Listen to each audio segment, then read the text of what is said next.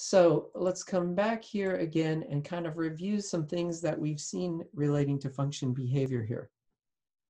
So one thing is that functions can have uh, any number of arguments.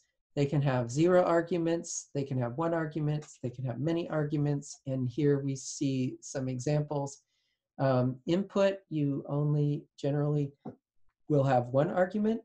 As I said, it's sometimes convenient to have no arguments, but print statement can actually have any number of arguments.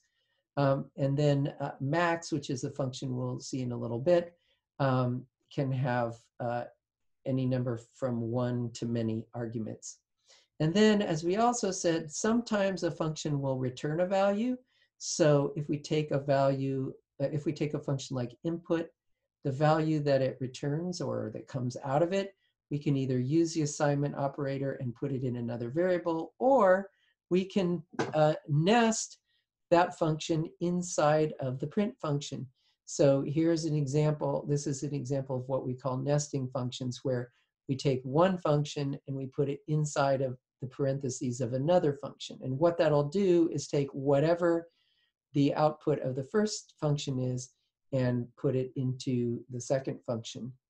Um, the other thing that can happen is that um, a function may return nothing and so the example of that that we saw is the print function.